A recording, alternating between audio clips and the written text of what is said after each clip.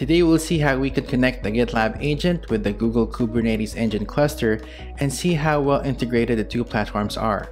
And we'll see how easy it is to kick off your digital transformation journey with GitLab and Google Cloud.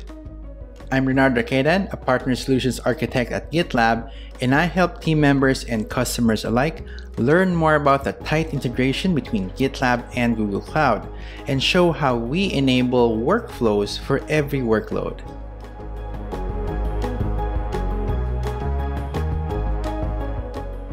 But let me introduce to you what GitLab is.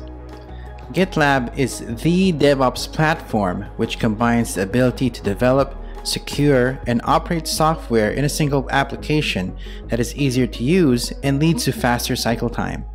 Thanks to GitLab's native functionality with Kubernetes, connecting the GitLab agent to GKE is a very straightforward process. As a matter of fact, it will only take three steps. The first step is creating an agent configuration file.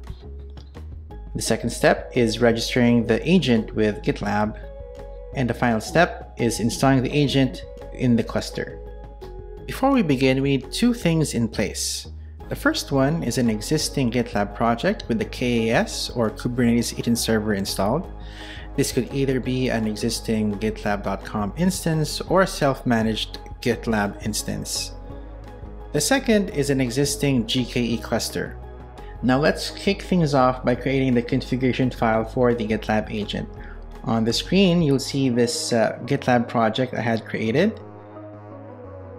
To create that file, I will click the Web IDE button in here, which will bring me to the Web IDE where I can create and edit files in the project repository. The first step I will do is create that specific folder for the agent. I will click this new directory icon here and indicate the location.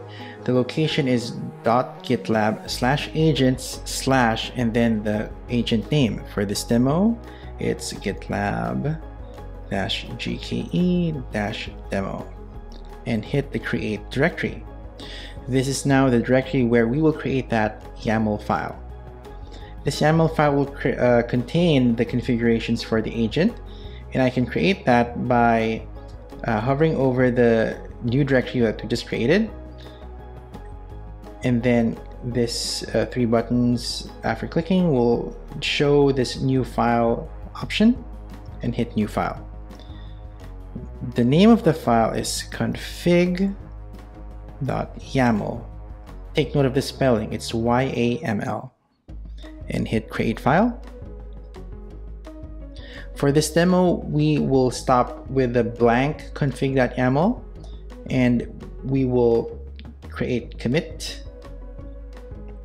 Now that the configuration file is done, we move on to the next part, which is to register the GitLab agent with the Kubernetes cluster. To do that, from the project page, uh, go to the navigation and then look for infrastructure. And from there, select Kubernetes clusters.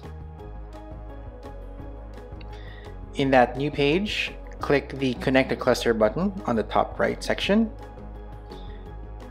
A dialog will be displayed and from here select from the drop down the name of the uh, agent we had created a while ago and click register. New information will be displayed in a dialog which is the agent access token and then the installation script using Helm. save this information on a file or click the copy command to put that into memory, which you will then use at the Google um, Cloud Console. I've now switched to the Google Cloud Console to finalize the installation of the agent. I've navigated to the Kubernetes cluster page, and now it shows the cluster that I had created uh, a while ago. It's a standard cluster. I will navigate to the edge of that row to expose the three buttons. Link here and select connect. Some connection information is displayed here. I will then select run in Cloud Shell. In Cloud Shell, I'm waiting and this command is pre-filled. I will hit enter. Good.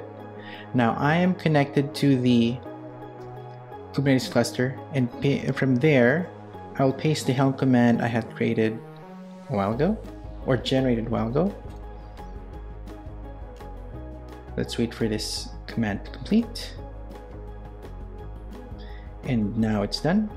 Heading back to the GitLab project, we can see that the agent and the cluster are now connected as shown by this connected status on the page.